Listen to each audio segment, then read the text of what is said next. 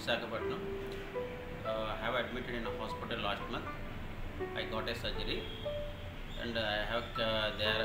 Uh, Niva Bupa has given uh, uh, given the claim for my surgery. They are giving good support, and they are giving the cashless claim. So I am very thankful to Niva Bupa, and I have referred to my family members and my friends. Thank you to Niva Bupa.